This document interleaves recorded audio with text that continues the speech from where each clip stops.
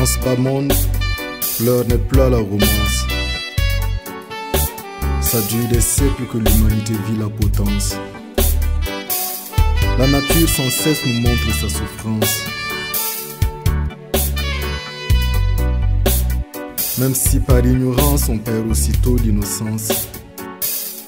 À moins que l'horloge ne sonne, personne ne pèsera sur une balance. À un mépris prématuré commis par inadvertance.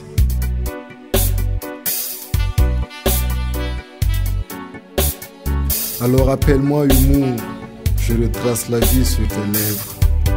J'offre l'équilibre comme un parolier qui migre sans trêve.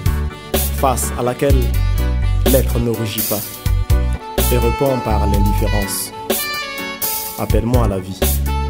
À tes yeux, je suis la plus belle. Loin des maladresses et des soucis, je reste seul.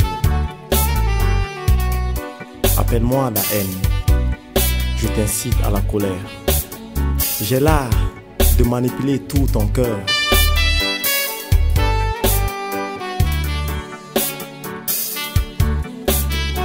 Mon petit doigt en témoin est avec fierté ignorance, sans pourtant la poser de suite par condescendance.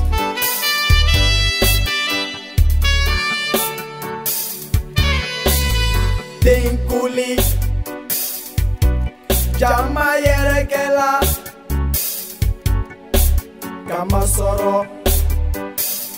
Ni Ce qu'il faut retenir, dès la naissance, on est condamné à se battre pour réduire nos instances. Appelle-moi la mort, je suis le salaire de tes péchés. À tout moment, je peux la prendre ta vie, sans pour autant demander gentiment ton avis. Je hante les quotidiens à la recherche des vivants. Aux yeux de Dieu le Père, on n'est pas sans importance. Voilà pourquoi on s'étonne, ce cœur de nos expériences.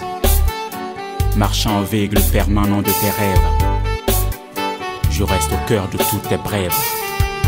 Longtemps tu me vis et en plein temps. Fier de moi d'avoir fait de toi ce que je veux. Le seul mot de mon dictionnaire est le mépris. Je conjugue la dent pour la dent et avec envie.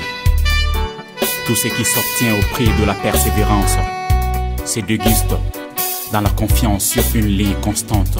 qui te nourrit et qui te produit de la joie de vivre. Tu ne vis que du pécule, ça te fait plaisir, tu t'enivres. Si l'espoir de l'homme se repose dans la patience, sur le tas, tous nos actes font réellement partie de nos circonstances. On se rendra compte un jour que tout n'est qu'une simple apparence. Donc, à bannir d'un seul esprit le déshonneur avec répugnance. Je ne me laisse utiliser que pour la bonne cause. Aidez-moi donc à vous partager que des roses.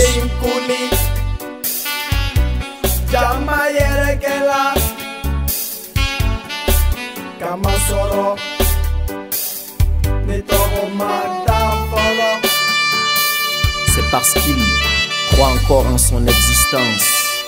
C'est parce qu'il a appris à l'école de la vie la méfiance.